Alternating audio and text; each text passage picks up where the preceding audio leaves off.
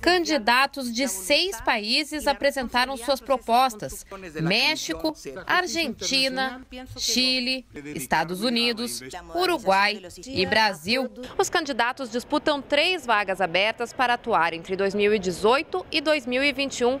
A Comissão Interamericana de Direitos Humanos é um órgão da OEA criado em 1959 e que tem sede aqui em Washington.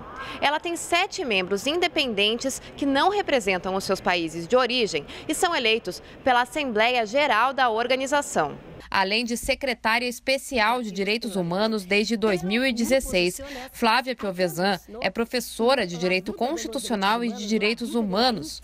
Ela também dá aulas na Espanha e na Argentina e é procuradora do Estado de São Paulo desde 1991.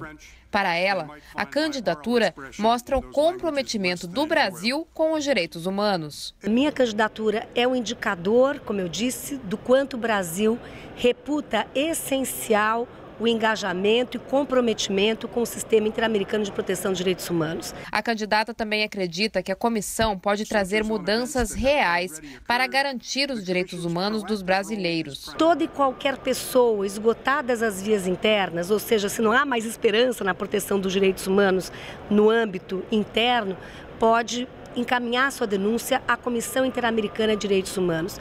E a Comissão Interamericana de Direitos Humanos notificará o Estado e, a partir, aí respeitado o contraditório ampla defesa, buscará salvaguardar os direitos das vítimas.